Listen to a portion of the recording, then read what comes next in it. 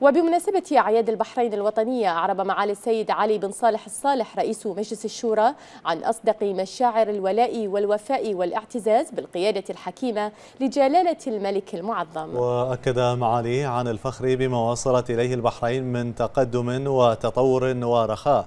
داعيا المولى عز وجل أن يحفظ جلالة الملك المعظم ويديم على جلالته موفور الصحة والعافية والسعادة.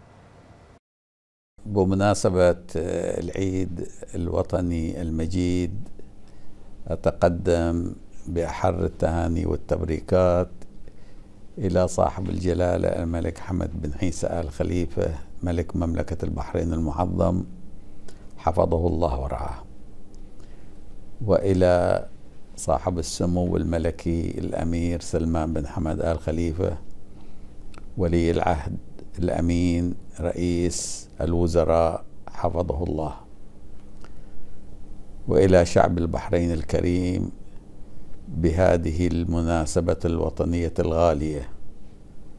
وأنا بهذه المناسبة نستذكر الإنجازات التي تحققت لمملكة البحرين برؤى سيدي صاحب الجلالة وأيضا وبجهود سمو ولي العهد الأمين. وتعاون السلطتين التشريعية والتنفيذية في تحقيق قفزات النوعية في على جميع الأصعدة وفي جميع المجالات. منها الاقتصادية والتعليمية والصحية والإسكانية وأيضا الثقافية. ولذلك نحن بلد زاخر بالإنجازات.